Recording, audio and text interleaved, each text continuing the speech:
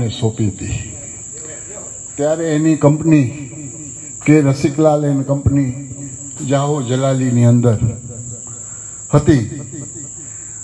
અને સમયે જેમ સમુદ્રની અંદર ઓટ અને ભરતી આવે છે, એવી રીતે એ વ્યક્તિને ધંધાની અંદર પણ થોડી ઓટ આવી. અને ના બાળક એકનો એક દીકરો અને ધંધાની અંદર ઓટ આવતા ધંધા બધા મંદી થઈ ગયા, ધંધો કોઈ રહ્યો નહીં.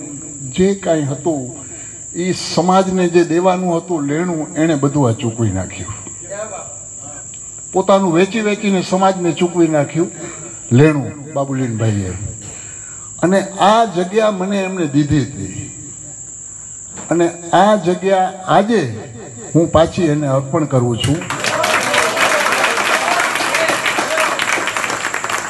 જ્યારે લાખોની કિંમત હતી ને આજે કરોડોની કિંમત છે.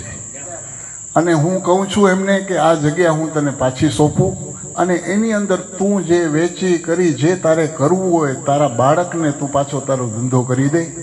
અને આજથી આ જગ્યા કાલનો એક દિવસ એનો હું રહીશ મહંત અને પરમ દિવસથી આ જગ્યા હું બાબુલીને આખી સોંપી દઉં છું.